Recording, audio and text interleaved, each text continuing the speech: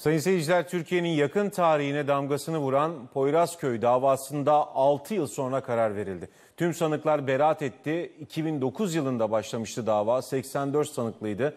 Mahkeme 83 sanığın beraatine, hayatını kaybeden bir sanık hakkındaki davanın da düşmesine karar verdi.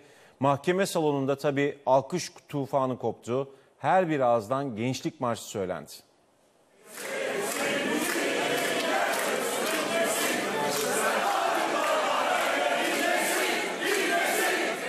Poyrazköy davası alkışlarla, gençlik marşıyla böyle bitti.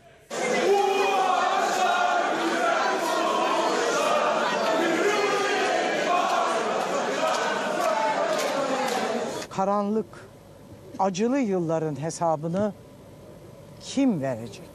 Suçlusunu, suçlularını arıyorum ve suç duyurusunda da bulunuyorum.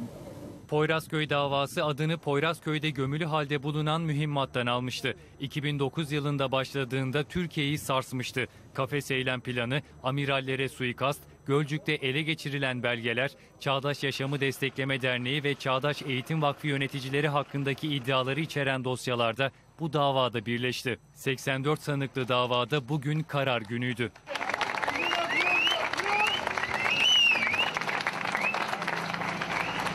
Ergenekon üyeliği hükümeti ortadan kaldırmak gibi pek çok suçlama vardı haklarında. Mahkeme üzerlerine atılı suçlar sabit değil dedi. 83 sanığın beraatine, hayatını kaybeden bir sanığın hakkındaki davanın da düşmesine hükmetti. Ayrıca sanıklar hakkında hukuka aykırı delil toplayan, arama ve el koyma kararları veren, sahte delil üreten kişi ya da kişiler hakkında gereğinin yapılması için savcılığa suç duyurusunda bulunulmasına karar verdi.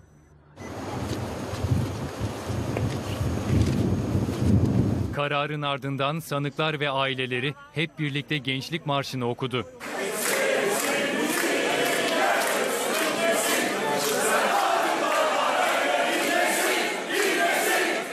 Fazla söyleyecek bir şey yok. İnşallah bundan sonra bu ülke böyle hukuki süreç